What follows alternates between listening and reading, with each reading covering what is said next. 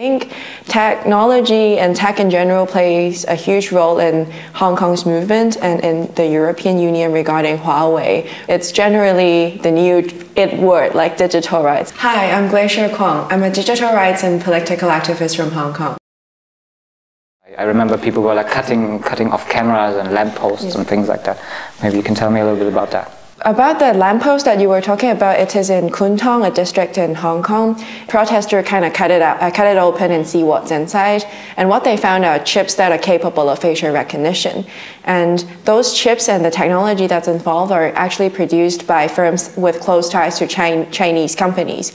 And th uh, those Chinese companies are those who pro uh, provide surveillance uh, infrastructure for China in general. So that worries Hong Kong protesters a lot. And later, I think in, in October and November, we have had reports saying that the Hong Kong government and the Chinese government actually used facial recognition to target protesters on site or monitor them in their, their daily life. We, uh, we were worried, that's why we have uh, masks on uh, at the very beginning, but um, masks don't really stop facial recognition. And also, the government have repeatedly told us that there is no facial recognition being carried out in these smart lampposts or um, throughout our daily life. But that turns out not to be true, according to foreign journalists. Did that have any consequences? Um, people have to travel to uh, China for work. They were stopped at the border and they were shown pictures of them uh, uh, um, appearing in the protest. Um, and uh, we believe that uh, all the CCTV that the government can lay their hands on, they're going to collect it and they're going to use it for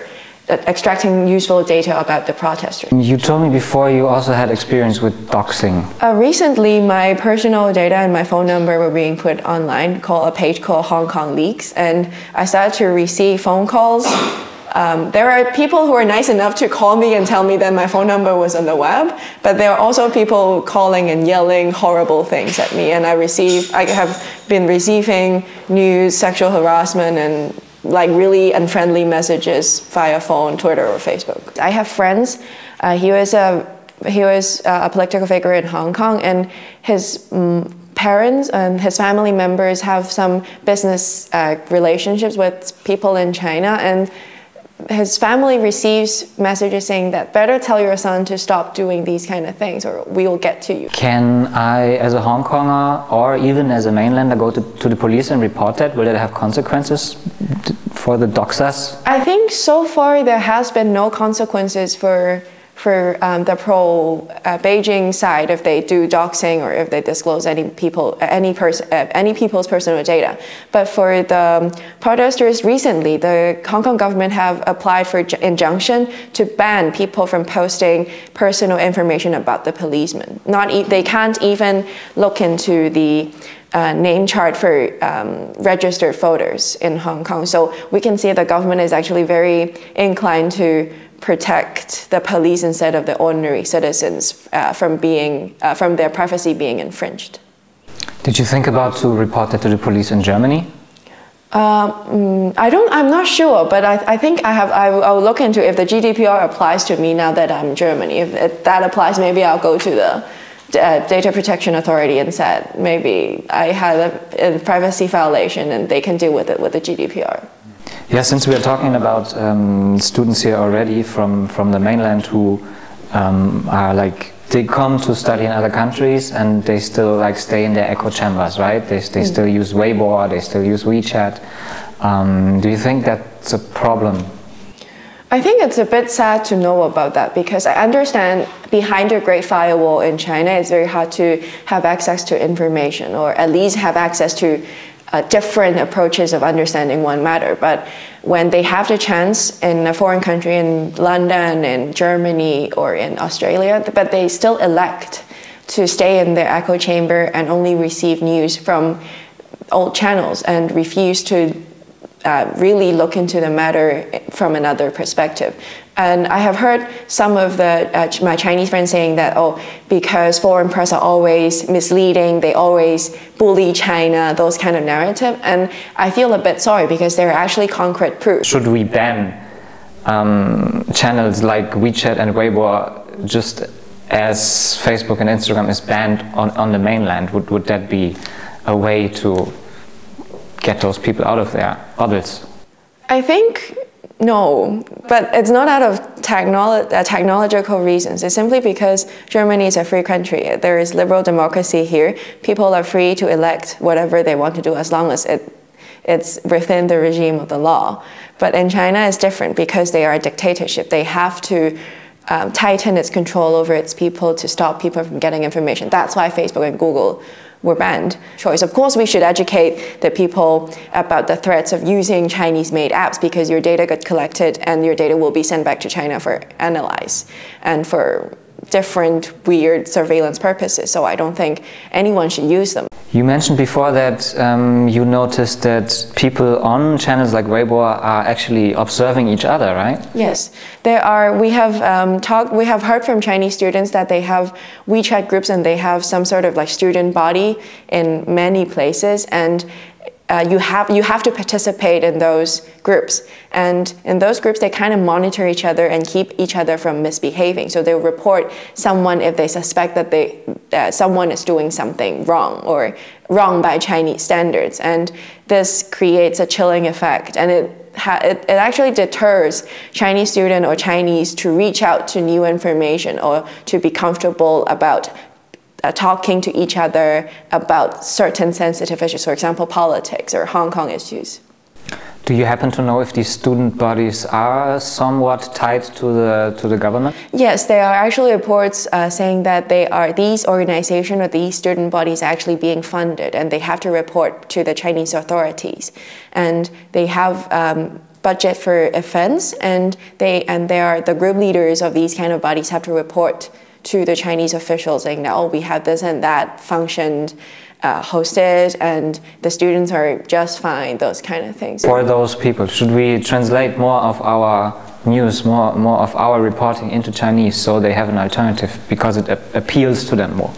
I think there are actually a lot of Chinese sources that um, for, in Chinese as well. For example, Wall Street Journal are in Chinese, BBC are in Chinese. I think it's basically enough. I think many of them understand English is that they don't have any motivation or they don't have the courage or they are deterred to read into those news that there are already available out there. Because TikTok is led to the first Chinese app that actually entered the Western market and became very successful and is used by non-Chinese people as well. There are many contents on that app. TikTok was being censored as long as it doesn't uh, comply with the Chinese standards, I would put it that way. For example, news about Hong Kong protests is going to be taken down.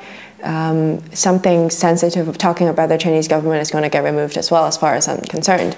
And it is a very worrying situation that many Germans and many Westerners use this app because um, first of all, you don't know what kind of data they're going to collect, and because you usually use it to film yourself and your friends, at least they can get your facial features, like how wide are your eyes and that kind of information. And these data can actually make up a huge database that can serve the use of surveillance. People don't really take a look at what TikTok gets from your phone if you are using it. People just click consent and that's in no way informed consent. So it's very dangerous because if it can get to your contact list, that means they know who you're talking to. If they can get to your album, that means they can screen through all your pictures. Usually Germans don't like Facebook or Google. They avoid using Facebook and they said Google is evil even.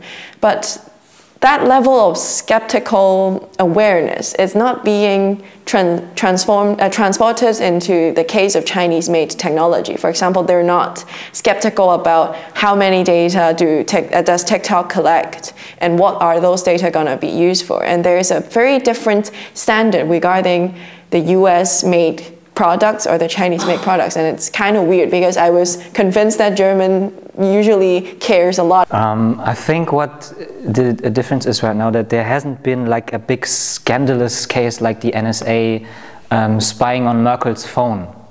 So I guess that's. But I think it's too late when a case like that, like. Um, was, was uh, are being revealed again because there is no remedy to privacy infringement because once the data is gone, it's gone forever, and there's no way you can collect it and hide it from from anyone again.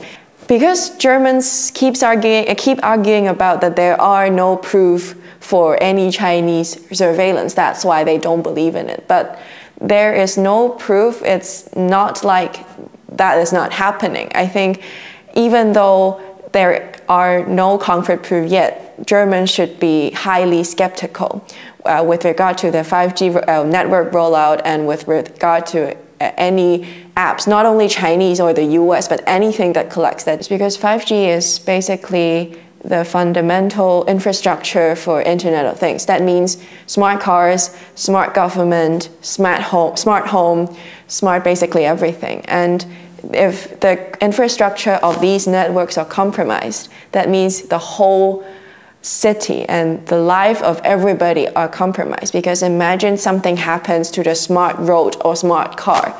It would have caused injuries and casualties. And this is a very strategic and critical infrastructure. I don't think anyone or any country should take any risk because safety and human lives should always trump any other concerns. What, whether it is uh, which provider is cheaper or which one is faster, but we should always take in mind that it is the humans who are the most important. We should always uh, remember that. And I fear that there is going to be mass data transferring from the Europe to China and whatever those data is going to be used for, it's not going to be good. Maybe it's for surveillance, maybe, for, maybe it's for analyzing what do you have in your fridge or what do you buy on a daily basis and that can actually uh, profile everyone that's uh, in, in, included in that network and it's going to be very dangerous because you can easily make use of those data to manipulate the choices that people have. What Germans say about it, or what actually many officials uh, say about it, is Huawei already built our 4G network. So what can we do now? We already took the risk, and it's building up upon this tech. So I don't. I don't think having engaged with Huawei before means that you have to continue your mistake, and yes, there is no remedy for, uh, for the data who, uh, which is already leaked to someone else or some company else, but there is always way to like stop and cut ties. And I think the things that German government should do is stop engaging with Huawei if you think there is already a risk, then stop doing it. Uh, either through a law that excludes Huawei from the Huawei from the competition, or setting up security regulations, as Merkel said yesterday. There's always a way, and maybe they can tighten their data protection control rules uh, even tighter than the GDPR, that would be okay as well. There are always different ways, and I think education is of paramount importance. The, I think Germans are um, comparatively more educated in privacy, but there is more that everybody in the world should know about data protection because the technology is growing so fast and we don't have enough time to catch up with that in terms of law and regulation. So it comes down to the mindset that people have that can uh, safeguard them most effectively. Would suggest we, we build it back or no, I, I experienced firsthand how slow the German network is, so I don't think that's a, that's a choice. But I think um, there are there are other ways that uh, we can kind of cancel out the effects that has made. For example, teach everybody to use end-to-end encryption, avoid clicking consent without actually knowing what you are consenting to. I know that's very hard because I don't read through everything every time as well, but I think this kind of mindset of telling people there are actually other options. For example, you can use open uh, open technology open sources software instead of using uh, uh, commercial products. That would be a change, and that we can slowly build towards a greater awareness about privacy and data protection. Then other companies or foreign companies will be will have to change their own methods or their own repu uh, reputation or how they handle things because they want to enter them. As far as I know, even um, Western companies like Nokia and Ericsson are producing components for 5G networks in China. Mm. Aren't there a risk as well? Yes, of course there's risk because when we say we use iPhones or iPads, they're comparatively safer, but actually many of the hardwares are still being built in China. And of course there's a threat, and this is something we cannot avoid in the age of globalization and global division of labor. But we can always um, minimize the risk even though there is a risk. For example, if the risk for using Nokia or other uh, non-Huawei or non-Chinese providers, the risk may be thir uh, like 30% of, of a risk, then using Huawei for me is like 80 or even 90%. There is always better choice. Any firms in China actually have to comply with the Chinese government's request no matter what. It doesn't matter if there's a law stating that, but if you want to survive in China, you have to do that.